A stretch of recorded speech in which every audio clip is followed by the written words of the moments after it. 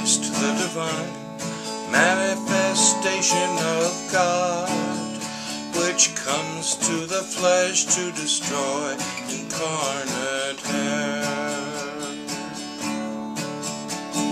Christ the divine manifestation of God, which comes to the flesh to destroy